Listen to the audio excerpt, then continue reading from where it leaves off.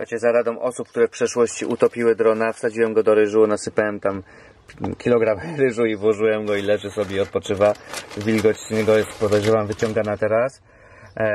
Jeżeli chodzi o baterię, to bateria cały czas się świeci. Nie ma możliwości jej wyłączyć niestety. Nie wiem co się to dzieje, ale tu też się coś tu się jakieś zwarcie wytworzyło, bo jest jakiś taki biały pył. Na pewno jest też sól. Ta sól jest tu wszędzie widać, więc domyślam się, że w dronie też tej soli jest dość sporo. No ale baterię jeszcze nie podłączyłem, drona nie sprawdzałem, na razie czekam. Pozwolę mu posiedzieć jeszcze parę godzin albo parę dni w tym ryżu i, i wystartuję. Zobaczymy. Podłączę drugą baterię, zobaczymy czy to w ogóle działa, czy to pójdzie do śmieci.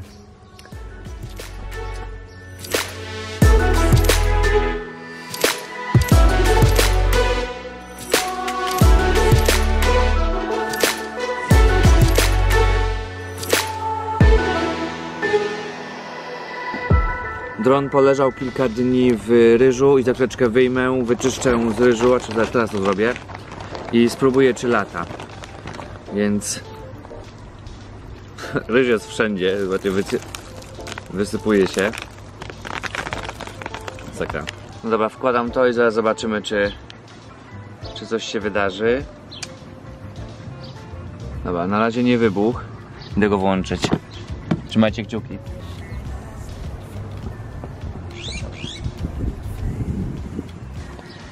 Włączył się, ale mam słabą baterię, idę ją podładować i za chwileczkę to wrócę do tego. Ale się włączył, więc jeszcze jest nadzieja.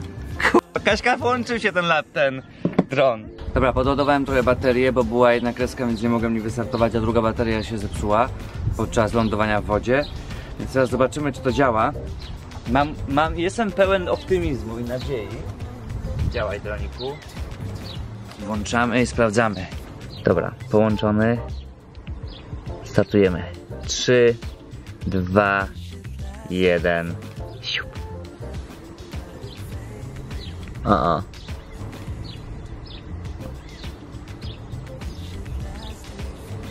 Nie. Tylko kręci się jedno skrzydełko. A to?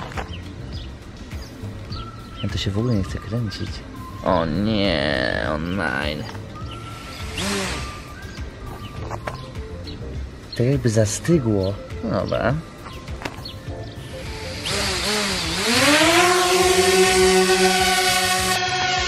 Lata, słuchajcie, on lata. Widzicie go? Działa. To są cuda. Dron, który wpadł do morza, działa. Ja nie wiem. Jeszcze nie dowierzam do końca w to, co się wydarzyło. Wow. Boże, dzięki Ci za uratowanie drona. Kasia, dron działa. Naprawdę. Latał. Jest wczesna godzina poranna, no powiedzmy wczesna, 9.46. Zbieramy się właśnie, e, bo zaraz jedziemy na pożegnanie z falami, na pożegnanie z klifami, czyli ostatni surfing. Dzisiaj surfuje tylko Kasia, bo niestety Łukaszka coś, coś jakieś przeziębienie dopadło. I jak wiecie, mężczyźni, kiedy są przeziębieni, bardzo cierpią i no jest, jest zagrożenie życia. Także Łukasz raczej zostanie w łóżku. Może wyjdzie, może. Trzymajcie kciuki za ozdrowienie cudowne, Tak, bo może przeżyje. może przeżyje, dokładnie. Także prosimy bardzo o wsparcie, bo no jak widzicie, Ale no jeszcze chodzę, nie? No wczoraj leżałem. Jest, jest trudno, przeżywamy naprawdę trudne chwile. Dobra, pakujemy się i jedziemy. Bo jeszcze jedziemy do Portimao dzisiaj. Tak, idziemy od, tak, Poszukiwanie oddać. spodni. Szukamy spodni. Łukasz marzy o spodniach haremskich, czyli takich szerokich z krokiem po kolana. Co już się ciągnie od pół roku. Od pół roku się to ciągnie, nie możemy znaleźć Pół roku spodni. szukamy spodni dla Łukasza i... Także jedziemy. Kota!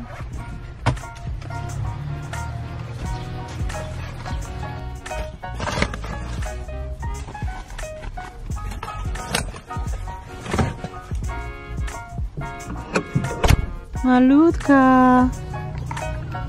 No moje koty. Teraz tak. Lodówka jest wyłączona, gaz wyłączony. To też możemy wyłączyć USB. Teraz sprawdzamy, przetwornica jest wyłączona. Wszystko jest powłączone, więc idziemy wyłączyć. Idziemy wyłączyć prąd. No dobra, yy, poddaję się, nie pamiętam jak to się robi. Raz to robiłam, to wyszło bez problemu. A teraz gdzieś tu jest coś zablokowane.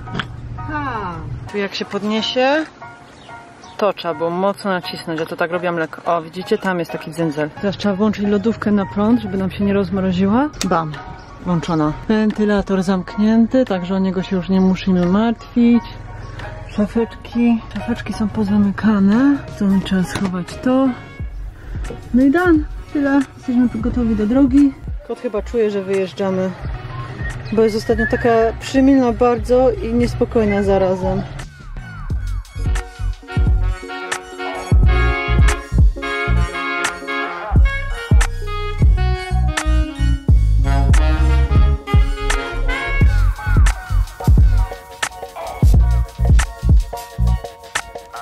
Jesteśmy w Portimao, jesteśmy przy galerii i idziemy pozałatwiać parę spraw i miejmy nadzieję, że uda nam się znaleźć spodnie.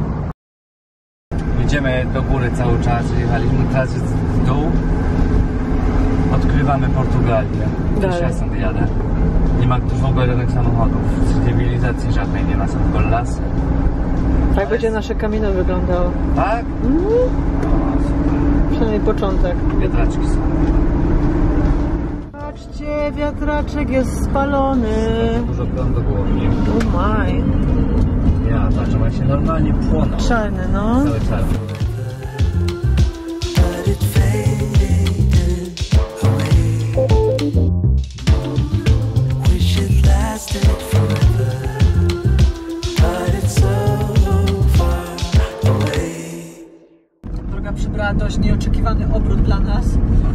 Zobaczcie, co tu się dzieje. Jak za starych, dobrych czasów w Finlandii. A, przeciwnie, to cały czas jedziemy w jakiś las. Chyba błędna lokalizacja. Nie no, przez takie coś to myśmy jeszcze nigdy... To Nawet, jest jak na kładzie. Jakbym miał kład, to bym kładem tędy pojechał. i To nawet na Łotwie drogi były lepsze. przeciwna sytuacja.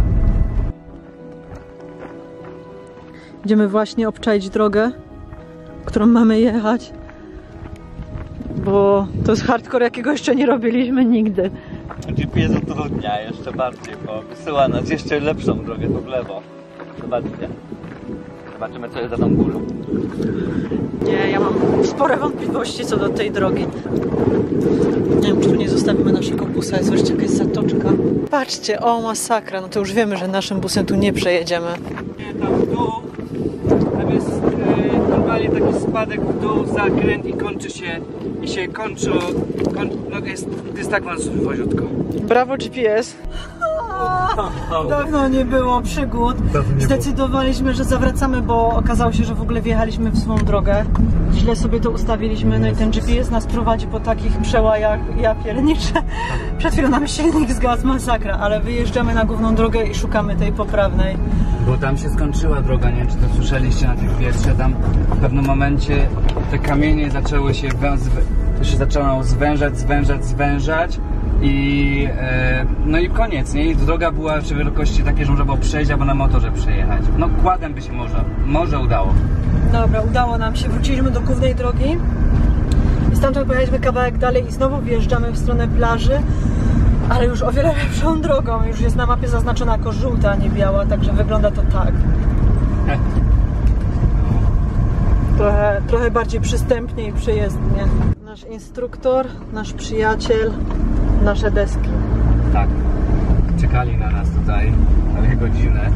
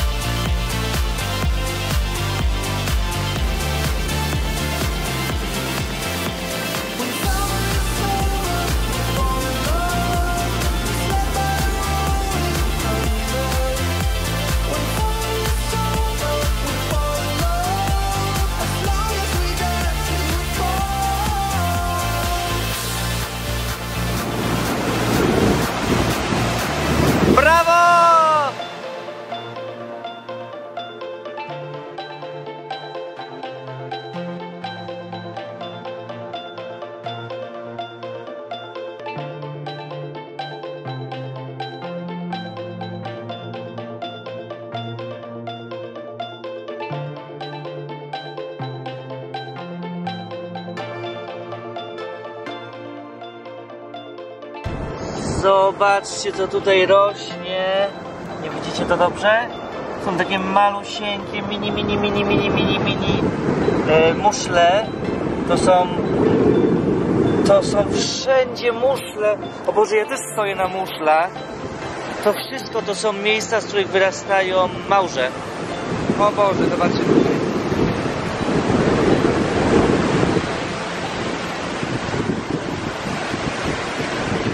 mamy inne zwierzątko. Widzicie, tu są muszle. Muszle, muszle. To są muszle, bo przyklejane do tej skały.